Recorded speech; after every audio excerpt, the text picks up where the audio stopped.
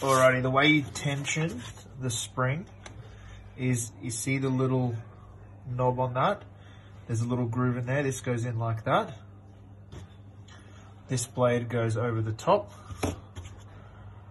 So those two come through like that. Okay, now you want the blade to flip out that way. So you just got to spin it around the opposite way, set it in place, pop that on top, and then it flips up.